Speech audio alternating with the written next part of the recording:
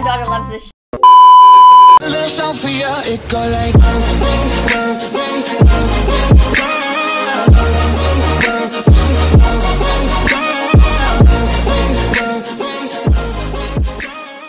Vegan teacher going after Cocomelon. If you don't know what Cocomelon is, it's this nursery rhyme um, YouTuber, and they teach kids, and which it makes no sense why she would go after a nursery rhymes channel, and it's just stupid. Everything that she does is stupid, and like she officially loses her mind every single video. So it, it's a while ago, but yeah, let's react to it.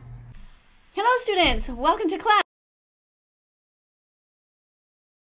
In case this is the first time you're meeting me, I am Miss Katie, that vegan teacher. I'm situated here in Montreal. Stupid skeleton. Y'all, Quebec, Canada. Um, right now, at the time you're watching this video, I'm 57 years old, and I have been vegan for just over five years. I became vegan on. Nobody cares that you're vegan.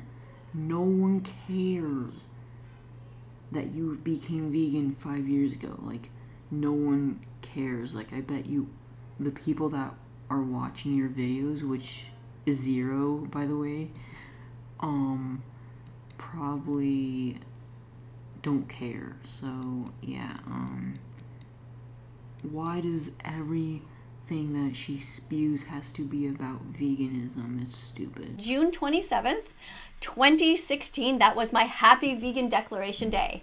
What about you guys? Write it in the comments below. Are you vegan yet? Vegan? So, yeah, um, sorry, vegan teacher. I guess I will fail your class. When was your vegan declaration day? Anyway, while you are doing that, I am going to be starting this video here.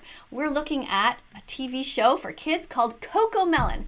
What we're looking for is specifically that they are going to be talking about whole food.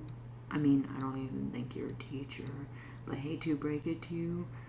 Um, they're not vegan and they don't talk about veganism because they don't dedicate up their whole life to vegan. So, yeah.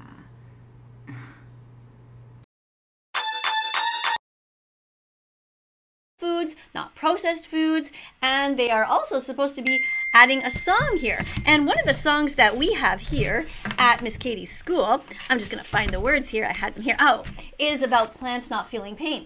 Plants don't feel pain. This girl is on cocaine. Her TikTok hurts my brain. Please hit her with a plane. So, as long as they have a good song that's about plants and about not harm.